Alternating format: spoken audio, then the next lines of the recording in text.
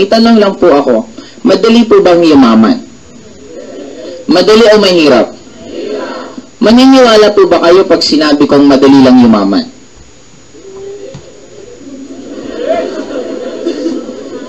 Normally, we find it hard na paniwalaan na madaling maging mayaman kasi mas madali po tayong mas marami po tayong kaibigan, kakilala, kamag-anak na mahihirap kaysa sa mayaman. Kaya dumadating tayo sa point na mahirap talaga maging mayaman. Pero hindi po totoo 'yon.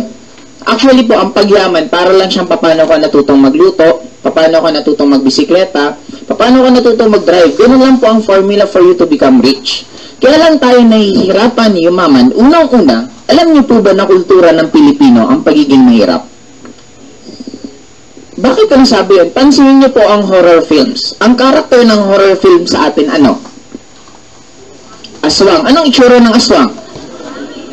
Pangit, matatanda, puti na ang buhok. Normally, saan nakitira ang mga aswang? Bahay kubler sa bundok. Pag-usapan natin horror film sa abroad, anong karakter ng horror film sa abroad? Vampire. Anong itsura ng vampira? Guwapo, magaganda, sexy, macho. Saan nakatira normally ang mga vampira? Mansions or castle. Doon pa lang po makikita na paano tayo mag-isip. Katang isip na nga lang po, ginawa pang pampulubi yung sa atin, hindi man lang ginawang pang mayaman. Okay. Ngayon, may tatanong lang po ako sa inyo. Sino dito yung gustong yumaman? Pwede pong itaas ang kamay. Okay, pakibaba po ulit. Thank you po. Kung gusto mo maging magaling na basketball player, anong dapat madalas mong ginagawa? Ang pagpapractice po is partly mali. Bakit? Gusto mo maging magaling na basketball player, nagpa-practice ka araw-araw ng volleyball. Magiging magaling ka bang basketball player? Of course not. Pero kayo po yung samagot kanina, sabi nyo lang, mag-practice. If you want to become a good basketball player, dapat ang pinapractice mo araw-araw, basketball, ang idolo mo, basketball player, ang madalas ang panoorin tungkol sa basketball, ang hilig ng mga kaibigan mo is basketball din. Now, if you want to become a good singer, gusto mo maging magaling na mga awit, sino dapat ang idolo mo? Singer. Anong dapat madalas mo ginagawa? Kanta. Anong, mad- anong madalas mong pinapanood? Mga concerts or tungkol sa pagkanta. Anong hilig dapat ng mga kaibigan mo? Pagkanta. Now, may question po ako sa inyo na gusto ko sagutin nyo na lang po lahat sa isip ninyo. Number one, meron ka bang idolo na mayayaman? Isip nga, di ba? Okay. Number two, meron ka bang pinapanood ng mga palabas na nakakatulong sa'yo para ma-inspire ka maging mayaman? Take note, hindi po ibig sabihin lahat ng pinapanood mo nakakatulong sa'yo. Kasi kung pinapanood mo po puro horror films, pustahan tayo, mahirapan ka maglakad sa dilim na mag-isa. Di ba, lumangin lang ng malakas, kakabahan ka na. Pangatlo, anong mga binabasa mong libro na nakakatulong sa'yo para ka maging mayaman? Hindi po totoo na pag nagbabasa ka ng libro, tatalino ka. Depende po sa binabasa. Kung ang madalas mong basahin pocketbook, hindi ka po tatalino. Magiging madrama ka sa buhay mo. Okay now, anong hilig ng mga kaibigan mo? Pagyaman din ba? Pag normal yung sagot mo sa mga question ko is no, yun ang reason bakit ka nahihirapan yumaman. Hindi naman talaga mahirap yumaman. Iba lang kasi yung goal mo sa ginagawa mo. Parang ngayon, nandito pa ako sa Ortigas. Gusto kong makarating yung Pasay. Yun ang goal ko. Sumakay ako ng bus papuntang Caloocan. Sana makakarating. Sakli Caloocan. Natawa pa kayo. Okay, ngayon. Baguhin natin. Ang goal ko ulit makarating ng Pasay. Everyday nagdadasal ako. Umaga, tanghali, gabi ang dasal ko. Lord, gusto ko pong makarating ng Pasay. Walang sablay, yun ang dasal ko. Nung time na alis na ako, sumakay pa rin ako ng bus papuntang Caloocan. Saan po ako makakarating? And that is life. Even if you keep on praying, Lord, gusto ko nang magbago ang buhay ko. Ito na yung last na taon na maghihirap ako. Next year, magbabago na ang buhay ko. Kahit anong dasal mo, kung hindi mo babaguhin yung ginagawa mo, hindi rin magbabago ang buhay mo. Walang pinagkaiban sa magdadayet na ako. Nakailang pangako ka na sa sarili mo. Ang tanong, anong ginawa mo? Wala pa rin. Tayo ang mag-ano ng cause ng change, hindi ibang tao. Now, may mga konti lang po ang sasabihin na itong mga sasabihin ko pang ito masyado makakatulong sa inyo para magbago buhay nyo. Number one, kung gusto nyo yumaman, dapat lakihan nyo yung tinatawag na psychological wallet. Ano yung psychological wallet? Yan ang capacity ng tao, ng utak niya, kung yayaman siya or hindi. Okay? I-visualize yun nila po ang wallet. Pag mas malaki ang wallet, mas maraming perang pwedeng ilagay. Pag mas maliit ang wallet, mas konti ang perang pwedeng ilagay. Now, what if ang sweldo mo, empleyado ka, ang sweldo mo 10,000 per month? Buwan-buwan yun ang sweldo mo. Isang araw maganda gising ng boss mo, dinagdagan ka ng additional 10,000. Magkano lahat ng kinita mo? Anong mararamdaman mo kung nasanay ka na ang kita mo 10,000 at biglang naging 20 mil? Of course, you'll be happy. But take note, ang 10,000 per month, ang tawag dyan, normal income. Kung normal income ang 10,000, anong tawag sa 20,000? Exactly abnormal. At lahat tayo gusto natin maging normal, syempre. Okay? Now, pag first, ang sweldo mo 10,000, umabot ng 20 mil, biglaan, binigyan ka ng boss mo, dinagdagan ng 10,000, wala kang ibang gagawin, bibili ka ng bagong damit, or bibili ka ng bagong phone, or ite-text mga kaibigan mo, friend, nasaan kayo, magpakita kayo sa akin, marami akong pera ngayon, manglilibre ako. In short, uubusin mo to para bumalik ka saan? Ginagawa po ba natin? Naalala niyo po ba nung nakaraang Pasko, pagkalapag na pagkalapag sa'yo ng bonus mo, di ba parang nasisindan yung pet mo na dapat ubusin mo agad yon? Kasi nasanay ka na ito lang yung kinikita mo, nung nasobrang, dun ka hindi nagiging unstable. Kaya since gusto maging stable, uubusin mo muna para pagbalik mo dito, normal ka ulit. Now, kung gusto mong yumaman, ang unang-unang kailangan natin gawin, lakihan mo yung pangarap mo. Ang problema po kasi sa atin sometimes, kasi nagbigyan tayo ng advice na kung mangangarap ka, dapat mababa lang. Para kung di mo man makuha, hindi ka masyadong masasaktan. Kung ako tatanungin nyo, kung mangangarap ka rin yan naman, itodo mo na. Yun na nga ang libre sa panahon ngayon, titipirin mo pa sarili mo. Iba kung mangarap ka ng kotse, Lamborghini na, Ferrari na, Porsche na, di ba at least sumablay ka man, bagsak ka Mazda, Civic, at least kotse pa rin. Kaysa pangarap mo, motor, pag sumablay ka sa motor, munting bike ang babagsakan mo. Uh, now guys, what if ang gusto mong kitain 100,000? Ang gusto mong kitain 100,000 per month. Sweldo mo 10,000, umabot ng 20 mil, pero gusto mong kumita ng 100,000. Pag ito ba nangyari sa'yo, manglilibre ka ba? Bibili ka ba ng bagong damit? No, anong gagawin mo? Magsusumikap ka pa para yung kita mo umabot ng In short, kung gusto mong yumaman, lakihan mo muna pangarap mo. Ang nag-abroad, bakit malaki ang kinikita nila sa abroad? Dahil ba sa dollar kinikita nila? No, kasi ang Pilipino po, nagbabago ang ugali pag nasa abroad. Pag kulang ang kita mo sa first job mo, pag nasa abroad ka, naghahanap ka ng second job. Pag kulang ang kita mo sa second job mo, naghahanap ka ng third job. Sa Philippines, pag kulang ang kita mo sa first job mo, nagrarally sa EDSA. Pag nasa abroad, maraming pera itatago. Pag nasa Pilipinas, maraming pera, titigil mundo niyan, titigil yung magtrabaho, uubusin yan muna. Pag naubos yung pera niyan, saka yan babalik sa trabaho. In short, kung gagawin mo palang ginagawa ng nag-abroad, for sure, kikita ka rin dito. If you're working right now, at sakto-sakto lang yung kita mo sa gastos mo, kung gagawin mo part-time ang AIM Global, yung kinikita mo dito, this will be your savings. Kung ibig sabihin, meron ng sobrang perang darating sa'yo. Ito yung una natin gawin, lakihan nyo yung psychological wallet nyo. Huwag po kayong makontento sa minimum wage per month. Huwag po kayong makontento sa 20 mil, 30 mil, 40 mil per month. Okay? Number two, napakarami po nating paniniwala sa buhay natin na yun po yung nagkukos bakit tayo nahihirapan yumaman. When I was in high school po, I'm already earning 8,000 per month.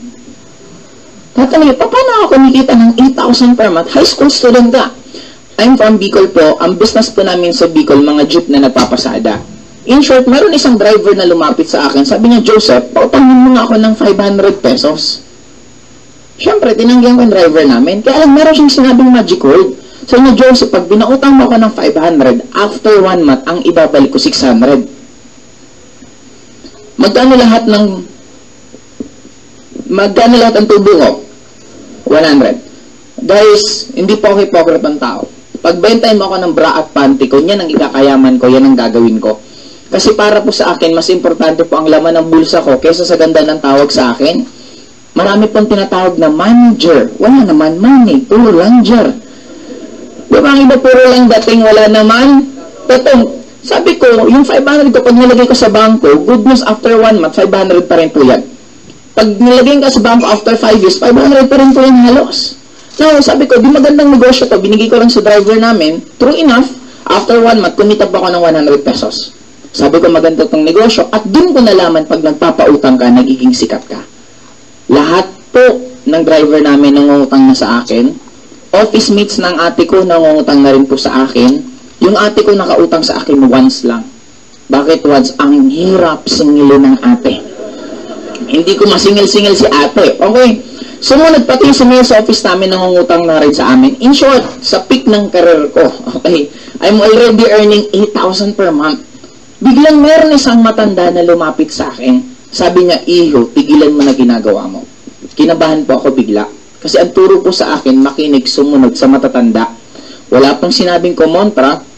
Ang sabi, makinig, sumunod sa matatanda. Eh, matanda po yung nag advise sa akin. Kinabahan po ako bigla, naglakas loob na lang tanong ko, tita, huwag lang po kayo ma-offend. Bakit ko po kailangan itigil yung ginagawa ko? Sabi niya, napakabata mo pa talaga, iho. Wala ka pang kamuwang-muwang sa mundo. Sabi ko, bakit ko nga po ba ititigil to? Hindi mo ba alam kung anong tawag sa ginagawa mo?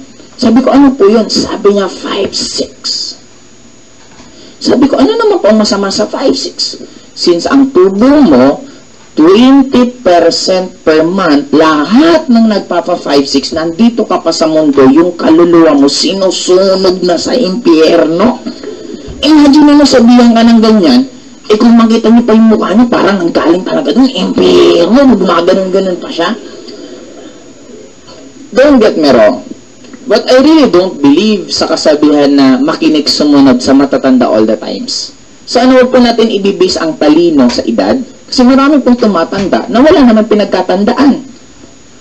Tama, ako I do believe, listen to all advice, but be very careful kung anong advice ang susundin mo. Kasi isa lang sure ko, may alam ang bata na hindi alam ng matatanda at may alam ang matatanda na hindi alam ng bata. One example, sa medyo matatanda po dito, alam niyo po ba kung ano yung Dota? Kilala niyo po ba si Cardel? Alam niyo po ba yung First Blood? Di ba? Pag na, ano ba yan? Kapit-bahay ba namin yan? Okay. Laro po yan. Ang point ko guys, sabi nga, ito na lang, another example.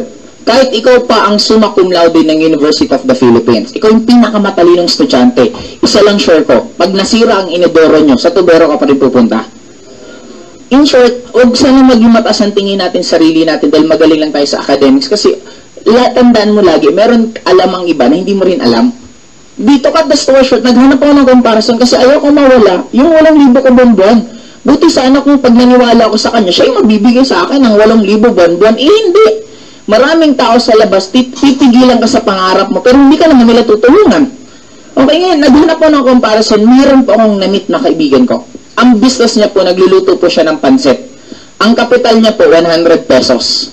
Sa 100 pesos po yan, after na bibili siya ng isang kilong pansit, konting kami, konting gulay, after nun, na ibebenta niya po ng 300. Magkano tubo niya? Doon po ako nagtanong sa sarili ko. Kung yung kaluluwa ko sinusunog na sa impyerno, ano na lang kaya yung kaibigan ko? Masama ang 5-6 kasi ang tubo. Yung kaibigan ko, ang tubo po, 200% per day. Sabi ko, malamang yung kaluluwa niya, ninunuclear na sa impyerno. Guys, I'm sure lahat po tayo narinig natin yung kasabihan na ang isang nagpa 5-6 masama. But the question is, kung aalamin mo kung saan talaga to nag-originate itong kasabihan na to, pag tinanong mang matatanda, anong sasagot sa'yo? Ah, sabi kasi yan sa amin ng matatanda. Tanungin mo yung matatanda, anong sabi sa'yo? Ah, sabi rin sa amin yan ng matatanda. Ito yung problema mo, wala ka nang matatanungan. Kasing matatanda ng matatanda, namatay na lahat. In short, wala nang magpapatunay kung totoo or hindi. Now, bigyan ko na lang kayo ng isang sample na madalas natin pinagagagawa pero hindi natin naiintindihan bakit natin ginagawa. Okay. Imagine niyo TV to. TV screen at nanonood po kayo. Dadaan ako pa. Paano ako dadaan? Yuyu ko ako. Excuse me po, excuse me po. Di ba, ginagawa po ba natin yan? Yes. Bakit kailangan pa natin yumuko? Ba't hindi na lang tayo maglakad ng maayos? Excuse me po. Di ba pag naglakad ka pa ng maayos, mas mabilis ka pang nawala? Di ba kasi sabi ng iba, eh kaya kami yumuyo ko para hindi maistorbo yung TV. Eh pag yumuko naman ako, di ba susundan niyo pa rin naman ako? Minsan nga lumagpas sa TV, saan tayo pupunta yun? Ginagawa hindi. Bakit natin ginagawa? Sabi ng matatanda. Ibig sabihin, nakasanayan kasi natin nang hindi natin namamalayan na namulat na lang tayo ng ginagawa. The same with this. Wala tong ma- ma- maayos na explanation bakit naging masama to. Eh kung isa sa map mo nga, yung iba mas grabe pa nga yung tubo. Na, kung masama po ang 20%, di napakasama po ng Jollibee at ng McDonald's. Kasi yung coke po nila, alam niyo yung costing yun, 2 to 5 pesos lang yun. Magkano binibenta? 25, 30 pesos. Excited kang sipsip, hindi mo alam yung kalahati ng tubig kasi yung yelo natunaw. Di ba sipsip ka pa ng sipsip? Diba? Hindi natin naiisip yan. Now guys, maliban dito, bigyan ko lang kayo isa pang mga site. Maraming tao gustong gusto maging mahirap. Ulitin ko. Maraming tao gustong gusto maging mahirap. Bakit? Dahil sa kakapanood ninyo ng soap opera. Anong meron sa soap opera? Ang bida laging mahirap. Ang mayaman laging kontrabida. Ang mahirap naaapi. Ang bida naaapi, nawawala ng pamasahe, nawawala ng pagkain. Kaya minsan ikaw habang naghihirap ka, nawawalan ka ng pambayad ng kuryente, nawawalan ka ng pangkain, natutuwa ka subconsciously kasi feeling mo, ikaw yung bidang pinapanood mo sa mga soap opera. May isa pang famous pong kasabihan. Ang isa daw na mayaman, pagpupunta sa kaharian ng langit, dadaan sa butas ng...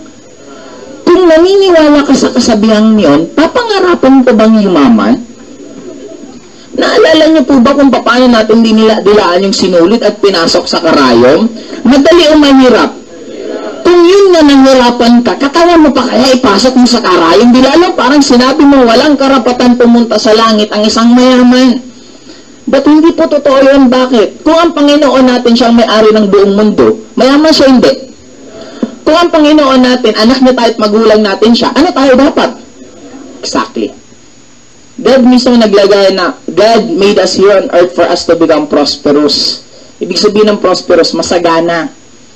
Now, sometimes naging scapegoat lang ng iba, bakit sila nagiging mahirap? Okay, ngayon, maliban po dito, okay, hindi ko ito masyadong elaborate, basta ang point ko, hindi po lahat ng nakasanayan, obligasyon po natin sundin.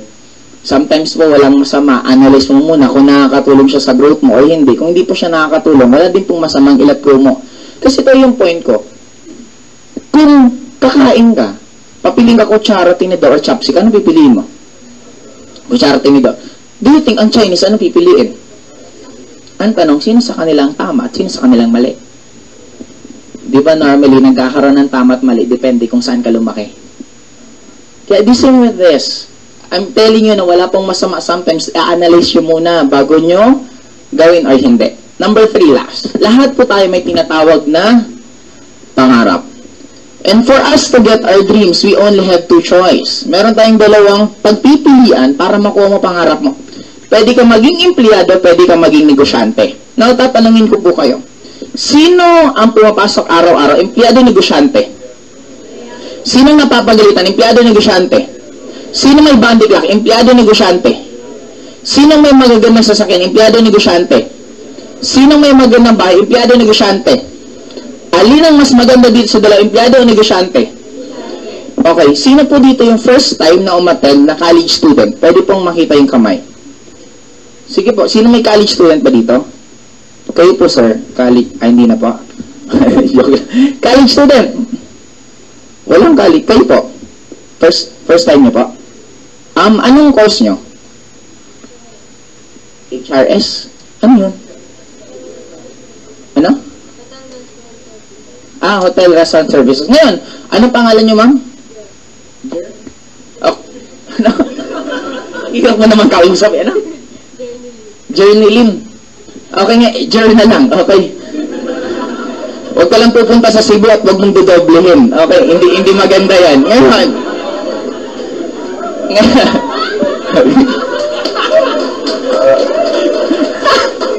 si tita naman oh, nag-buffer. Okay, anyway, Jer na lang. Pagka-graduate mo, Jer, anong gagawin mo? Maghahanap ng trabaho. Pansinin niyo po gaano tayo ka-weirdo. Okay? Sino pumapasok araw-araw, empleyado? Sino napapagalitan empleyado? Sino may bandiklak empleyado? Sino may magandang bahay, negosyante? Sino may magandang sasakyan, negosyante? Alin mas maganda dito sa dalawa? Jer, ano ulit gagawin na pag-graduate mo? Guys, hindi po ba kayo nagtataka? Lahat tayo, alam natin yung sagot. Nasaan yung pangit nandito? Nasaan yung magaganda? Eto. Anong gagawin mo pag-graduate mo? Eto. The question is, why? Bakit? Sabi ng iba, eh, Joseph, you want to become businessman, but the problem is, wala ka ng pera. Hindi mo kailangan ng pera para maging mayaman at magtayo ng negosyo. negosyo. Always remember, top 3 na pinakamayaman dito sa Philippines, they all started with nothing. Top 3, Mr. Gokong Wei, may-ari ng Robinsons, may-ari ng Cebu Pacific, dati lang po siyang nagtutulak ng kariton sa Cebu City. Number 2 na pinakamayaman, Mr. Lucio Tan. Si Lucio Tan po, may-ari ng Allied Bank, may-ari ng Philippine Airline, ang dami po po niyang businesses. Si Lucio Tan, nung nag-aaral po siya ng kolehiyo, wala pong pambili ng sapatos yung magulang niya, kaya nakachinelas lang po siya habang pumapasok sa school nila. Kung ikaw ngayon, nakasapatos ka, mas lamang ka pa kay Rizal, ay kay Rizal, kay, biglang Rizal, kay Lucio Tan, nung, nung nag-aaral siya. Top 1 na pinakamayaman, Mr. Henry C. Anong negosyo ni Henry C? Diba? Tama, tama naman, tama. Okay. Si Henry C. si Henry C po, may-ari ng Shoemart. Kaya po siya Shoemart, kaya SM, kasi dati lang po siyang naglilinis ng sapatos. Just imagine, ang nigo, ang source of income niya dati tagalinis siya ng sapatos, nakaipon siya, nagtayo siya ng isang department store puro sapatos, and the rest naging mall at tuloy-tuloy hanggang ngayon naging Henry C po siya. Ngayon kung ang pagbabasa ng pagyaman pera, how come more than 80% ng nananalo sa loto, lalong naging mahirap after nilang manalo? Ulitin ko, 80% ng nananalo sa loto, lalong naging mahirap after nilang manalo. Question, bakit? Eh, ano ba natutunan mo sa pagpapanalo mo sa loto? Wala. Now, pag may trabaho ka at nanalo ka sa loto, anong unang-unang mong gagawin? Mag-resign ka sa job mo. Bibili ka ng malaking bahay, pag-aaralin mo yung anak mo sa magagandang school, bibili ka ng kotse. Lahat ng pera mo palabas, walang papasok, maubos hindi. Pag naubos, bebenta mo yung bahay mo, ibebenta mo yung kotse mo, yung anak mo medyo pag-aaralin mo sa mas mababang school. Lahat pa rin palabas, walang papasok, maubos hindi. Wala ka ng pera, wala ka ng bahay, wala kang sasakyan, wala ka pang trabaho. Yun ang common na nangyayari sa mga nananalo sa loto. Ngayon, ang question dito, eh, kung hindi pala reason pera, kaya kami bumabagsak dito, ang question ano? Ang reason bakit tayo bumabagsak dito dahil sa mahiwagang advice na to. Sabi ng mga magulang natin sa atin, number one, anak, go to school. Study hard. Number three, anak, find a job. Itatagalog ko po para ramdam natin lahat. Sabi ng magulang natin sa atin, anak, pumasok ka ng school. Mag-aral ka ng mabuti. Kasi pag nakapag-aral ka ng mabuti, makakakuha ka ng matataas na grado at makakahanap ka ng magandang trabaho at matutupad mo mga pangarap mo. Alleluia. Sa mga estudyanteng nandito tanong, ito po ba ang advice ng magulang niyo sa inyo? Sa mga magulang pong nandito, ito rin po ba ang advice ng magulang niyo sa inyo? Sa magulang na magulang na magulang na magulang na magulang na magulang na magulang na magulang na magulang na magulang na magulang na magulang na magulang, ito pa rin po ang advice. Ang panahon noon sa panahon ngayon, ang laki na ng pinagbago. Noong unang panahon po, habang tumatagal ka sa trabaho mo, tumataas ang sweldo mo, dumadami ang benefit mo, at nagiging importante ka sa kumpanya. Sa panahon ngayon, habang tumatagal ka sa trabaho mo, pinaplano ng boss mo kung paano ka sisipain at papalitan ka ng contractual. This is a good advice nung unang panahon, pero iba na po ang panahon ngayon. If you could ask your lolo, lola, nung unang panahon, isa lang ang nagtatrabaho, maayos na po ang buhay ng buong pamilya. Sa panahon ngayon, dalawa na kayo nagtatrabaho, kulang na kulang pa rin po ang kinikita ninyo. Sa mga nag-work na po for 5 years, kailan man lang po dumobole yung sweldo mo? Napansin mo gaano tumambling-tumbling yung presyo ng gasol? Imagine mo, mag-ilang gasol na lang mabibili mo sa sweldo mo compared noon. Now, ang point ko guys, kaya tayo, maliban dito, meron tayong pangatlong source para pwedeng kumita ng pera. This is what we call networking. Maraming taong negative at skeptic sa networking, hindi dahil pangit ang networking, nagkataon lang po kasi na walang nagsabi sa atin na anak, mag-aral ka ng mabuti at pagka-graduate mo anak, mag-networking ka. Bakit walang ganun? Kasi nga, nung panahon ng mga magulang natin, wala pa to. May nagsabi sa akin, eh Joseph, kaya ayaw namin mag-networking kasi hindi naman lahat ng sumasali dyan yumayaman. Totoo. Hindi talaga lahat ng sumasali dito yumayaman kasi hindi rin po lahat ng nag-aaral gumagraduate. Hindi rin po lahat ng nagtayo ng negosyo nagkumita. Hindi po lahat ng nag-take ng nursing exam naging nurse. Hindi po lahat ng nurse ang trabaho pag na-nurse. Now, ang point ko, kung anong nangyayari dito, huwag po natin ilayo, nangyayari din naman dito. Kaya lang, itong tatlong to, ang tawag ko po dito, this is just an evolution. Anong ibig sabihin ng evolution? Parang ito po yung way mo, papunta sa pangarap mo. Paano yan? Ang employment sa akin, para kang naglalakad, papunta sa pangarap mo. Ang business sa akin, para kang nagda-drive, papunta sa pangarap mo. Ang networking for me, lumilipad ka, papunta sa pangarap mo. And ako, practical lang po ako. Bakit ako maglalakad kung pwedeng mag-drive? Eh, bakit ako magdadrive kung pwede kang lumipad? Bakit papatagalin ng sarili mo yumaman at susundin mo kasabihan na life begins at 40 kung pwede ka naman yumaman na bata pa? Ba't kailangan mo anting mong kailan ka na 40? Di ba? Parang sa mga dalaga po nandito, may dating pa ba sa inyo mag-drive ng isang sports car ang 40 or 50 years old? Di ba parang wala na kasi pag magdadrive siya, baka yung windshield niya may grado pa, di ba? Para makita niya lang yung kalsada. Ayun lang. Sa mga dalagang nandito, kailan gusto mong pumunta ng Boracay at mag-two-piece? Kung kailan 40 ka na. Di parang nahabulin ka na ng plancha, Uy, gusot-gusot ka na. Hindi na makikita yung two-piece, yung mga cellulites mo, yung stretch mark mo, hindi na makikita. Now, ang point ko guys, itong tatlong to, pansinin mo. Lagi naman tayo nagbabago. Nung unang panahon, para makapanood ka ng pelikula, anong gamit? Betamax. After ng Betamax, VHS, after ng VHS, VCD, DVD. Pansinin mo, nagbabago. Pero pareho lang naman, panonood ng pelikula. Kaya lang mas gumagaan at mas dumadali. Pag makikinig ka ng music before, anong gamit mo? Plaka. Isang bilog na ganito kalaki, isang kanta ang laman. Na-imagine nyo paano mag-soundtrack yung mga lolo't lola natin. Yan, ang dami dalang plaka. Okay. Ngayon, nag okay. nag-improve yun. Lumiit, naging cassette tape. Ang problema sa cassette tape, para maulit mo yung kantang gusto mo, tutusukin mo ng ballpen, ikot-ikot mo ng ganun yung ballpen. Diba? Para maulit mo. After ng, ng cassette tape, sumunod, CD, sumunod, MP3. Pansinin mo, nagbabago-bago lang, pero pareho, kaya lang, mas nagiging madali. Kung tatanungin niyo ako, kung papipiliin ko, ako, ako pala tatanungin sa inyo, kung papipiliin kayo, kung aakit kayo ng building, elevator o stairs?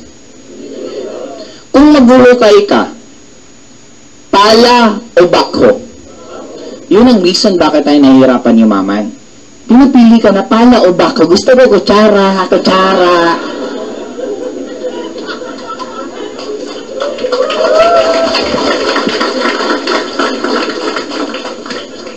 Ang ginagamit mo na source of income, uso pa ng unang panahon. Kaya huwag ka magtaka bakit ka nababagalan yumaman. Marami ng ways na pwede kang yumaman na mabilis. Ito pa rin ginagawa mo, tapos magre-reklamo ka, bakit ka nahihirapan yumaman. Di ba, huwag ka nga sumunod lang sa Agos, ma- alam mo, cellphone mo hanggang ngayon, di ba yung may antenna pa, di ba ang baduy na? Eh kung yun na nababaduyan ka, what more to? Nauso pa nung unang-unang panahon. If you want na yumaman ka ng mabilis, dapat matuto ka rin mag-adapt sa changes. Now, may tanong na lang sa inyo. Sa tatlong to guys, employment, business, at networking, alin ang may pinaka mahal na kapital? Okay, business. Alin ang may pinakamurang kapital? Tama po kayo sa pinakamura. Ang pinakamura is networking. Hindi po kailangan dito ng college diploma. Hindi po kailangan dito ng itsura. Hindi po dito kailangan ng ma-experience. Ang kailangan lang po dito, kung may pangarap ka gusto mong baguhin buhay mo, pwede ka dito. Pero may pinakamahal na kapital, hindi po business. Ang may pinakamahal na kapital, anong kapital para ka maging empleyado? 14 years kang nag-aral. Elementary, high school, college. Ang laking binayar ng tuition fee ng magulang mo sa'yo. Number three, nagsunog ka ng kilay. Kaaaral ng more than 70 to 80% ng tinuro sa school, hindi mo nga alam kung saan mo gagamitin hanggang ngayon. Nung nag-aaral ka, buhay ng may buhay, pinakialaman mo. History. Kailan pinanganak si Andres Bonifacio, kailan namatay si Andres Bonifacio. Ngayon, hindi mo kaano-ano yung tao, pinagpat pakialaman mo yung lahat ng detalye ng buhay niya. Number two, hindi na po tayo nakapag-move on sa taong to. Naging subject na po ng elementary, hindi pa napigilan, nag, nag, sa high school pa, hindi pa rin tayo hiniwalayan, tinuro pa rin sa kolehiyo. Sino tong taong to? Dr. Jose Rizal. I have nothing against him. But my point is, yung natututunan natin sa kanya, hindi na po na-apply sa panahon ngayon. Hindi na po tayo nakakipag-away pa sa mga Spaniards. Anong topic sa kanya? No limitangere, el filibusterismo, Basilio, Crispin. Di ba sino yung nakapulot ni chinelas ni Rizal na tinapon niya sa ilog? Di ba? Ang point ko doon, ang tagal na noon. Parang ganito yan eh kung meron kang current na karelasyon ngayon, at hindi hindi mo nakakalimutan yung ex mo, hindi mo ma-appreciate yung current na karelasyon mo, paano yung mga kabataan ma-motivate yumaman kung ang topic lagi yung pag-aalsa? Eh kung pinalitan na lang sana yun, buhay ni Mark Zuckerberg, paano siya naging napakayaman at age of 27, naging youngest billionaire siya sa United States. Buhay ni Henry C., paano siya nagsumikap na in spite na mahirap ang Pilipinas, nagawa niyang yumaman. Kung yun sana ang mga topic, di ba mas mai-inspire ka nang baguhin mo buhay mo? Pansin mo yung mga tao na mahirap, ang laging topic pass. Nung ka, ang buhay ko ganito, ganito, kaya hindi nakakapag-move on. Number three, na dinugo lahat tayo kaaaral sa subject na algebra. Yung letra sa number, pinagpapa-plus. 1a plus 2b equals 3b. Di ba kailan mo malang pag ginamit, ano pabili ng candy to 1b, ito sukli mo 2c. Di ba? Hanggang ngayon, hindi pa natin nagagamit yan. Simula bata tayo, isa lang laging sinasabi sa atin, mag-aral ka lang ng mabuti, pag graduate ka, gaganda buhay mo. Lahat po tayo naniniwala sa kasabihan yun kasi sinabi yun ng magulang natin, sinabi yun ng mga guro natin, sinabi din ng kapitbahay natin. Lahat yan ang sinabi, mag-aral ka lang ng mabuti. Pag graduate ka, gaganda buhay mo. Nung graduation ceremony mo, ang sarap sa pakaramdam. Habang umaakit ka sa entablado, sabi mo, this is it. Yayaman na kami habang ginagano na yung tali sa ulo mo, ramdam na ramdam mo na ngayon, ako na ang puputol ng sumpa ng kahirapan sa pamilya namin. Nung nag-apply ka na ng trabaho, may panibagong katotohanan na hindi sinabi sa atin. Logo sa logo ng school, nag-aaway. Ateneo, Lasal, UP, hindi pa tinitingnan yung resume mo, yung grades mo, tiklop ka na dahil sa logo pa lang ng kalaban mo Sumunod, nag apply ka, may nakita ka with experience. Paano ka magkakaroon ng experience kung hindi ka nila tatanggapin? Tama. Ito pinakamalala. Sabi sa atin, mag-aral ka lang, gaganda buhay mo. Kinarir mo yung pag-aaral. Elementary, high school, college, perfect lahat ng exam. Hindi ka nag-absent, hindi ka na late. Sobrang ikaw ang pinakamagaling na estudyante sa classroom ninyo. Nauramdam mo na na pag nag-apply ka ng trabaho, automatic matatanggap ka kasi ang talino mo. Nung mag apply ka na ng trabaho, may panibagong katotohanan na hindi tinuro sa'yo. May nakita ka, may nakalagay requirements with pleasing personality. Paano kung ang itsura mo hindi na uso? Lahat ng pinag-aralan mo tumiklop dahil lang sa itsura mo. At alam, ito, totoo po, mas madali pong matanggap sa trabaho ang may itsura kaysa sa walang itsura. Di ba, tayo napaka-judgmental natin. Manood ka ng balita, may nakita ka. Inakusahan ng rape, pinakita yung picture. Nakita mo yung picture pangit. Ano ba pasok sa isip mo? Guilty. Tama po ba? Naging pangit lang, guilty na agad eh. Ngayon, ang pag-uusapan natin, this will be just be very, very quick. Okay, ang pag-uusapan natin, it's all about networking.